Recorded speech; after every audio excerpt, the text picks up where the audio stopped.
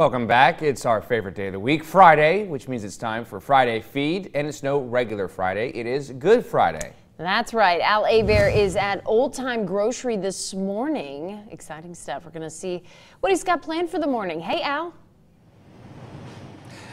Hey, good morning, guys. I could not be more excited. If uh, if you've gone to UL, if you've lived in Lafayette, this is sort of hallowed ground. It's old time grocery. Uh, I got to tell you, I, I, couldn't be more excited to be here. I'm here with Becca Murphy, uh, who runs the place. Her dad opened it, and we're going to tell that story later because let me tell you something. You're going to love this story. Uh, Becca, this is an institution. Give us a little bit of the history. Okay, so my dad, Glenn, uh, opened it in, on May 28, 1982. It was his birthday.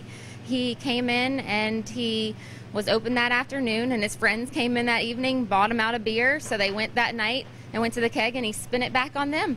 And so they've been open ever since. Now, there's great history. Went back to the keg.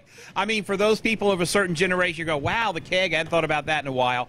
And what what I was so excited about Becca Becca is the the the cool sandwiches that you have here that we discussed yesterday. So talk about some of the seafood offerings that you have here. So every every day we offer shrimp po' boys and oyster, but on Fridays we offer catfish all year long, and on Lent Fridays we have crawfish po' boys, fried crawfish po' boys. So. Now that's pretty cool. I have not had the fried crawfish po' boy. Carter and I discussed this yesterday. Carter said, I, I love the pastrami here. I'm so addicted to the pastrami here, it's crazy. Carter said, Well, I'd never have that. I love the shrimp. And so I was stunned when you told I thought you were selling only pastrami uh, but you told me the shrimp's pretty popular. The shrimp is 50% of our business, so people like fried shrimp. so Carter Semino was indeed correct on that one. So the pastrami, is that like 45%?